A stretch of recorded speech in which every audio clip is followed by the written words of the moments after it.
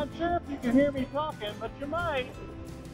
This is my favorite part of the ride here. You have the river next to you, little park run, the farm, the red barns, the cows, the grass.